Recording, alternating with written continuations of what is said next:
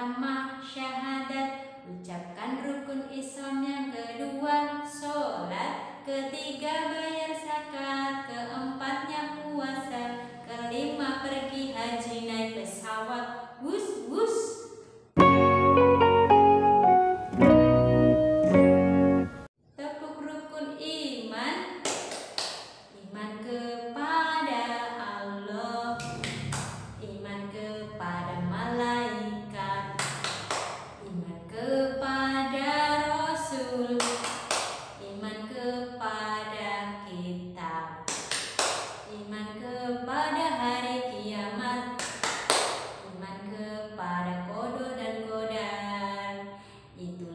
myself